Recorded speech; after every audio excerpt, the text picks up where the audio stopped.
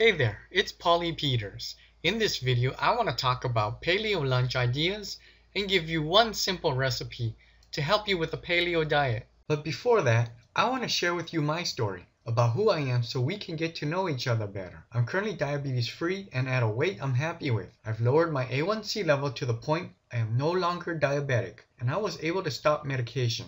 But it wasn't always like that in the past. In fact, I used to really struggle with my diabetes and weight.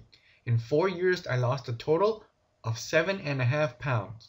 Doing vegan, Weight Watchers, gluten free, you name it, I most likely did it. My diabetes was so bad, my doctor kept telling me that I'd get vision loss, nerve damage, and kidney disease if I didn't change. But then I discovered the paleo diet. I wish I learned about it before I got sick and gained a lot of weight.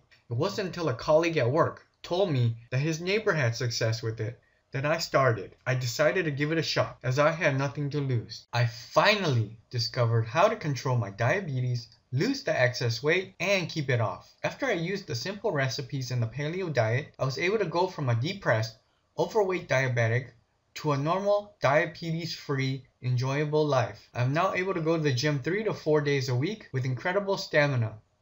Not only that, it feels amazing no longer having to take medication. The following recipe is the exact one I've been using in my diet for the last two years. My wish is that it helps you achieve your goal like it did for me. Now on to the recipe. Barbecued spicy chicken. Ingredients 2 tablespoons of fresh lemon juice, 1 tablespoon of fresh orange juice, 2 finely chopped scallions, 1 teaspoon of finely chopped fresh tarragon, 1 teaspoon finely chopped fresh thyme, 1 teaspoon of finely chopped fresh sage, 1 teaspoon fennel seeds toasted and crushed, freshly ground black pepper to taste, 4 boneless skinless chicken breast halves.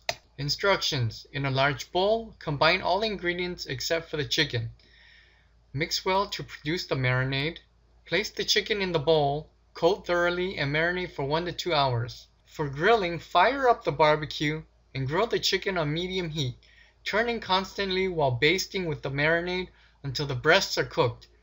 For broiling, cook under the broiler, turning constantly while basting with the marinade until done. And that's the recipe of the day. If you enjoyed this video, then like the video and subscribe to my channel. If you'd like to learn more about the paleo diet so you can experience improved sugar control and weight loss, then click the link below the video, take action and go check it out. Again, click the link below, take action and go check out the page there.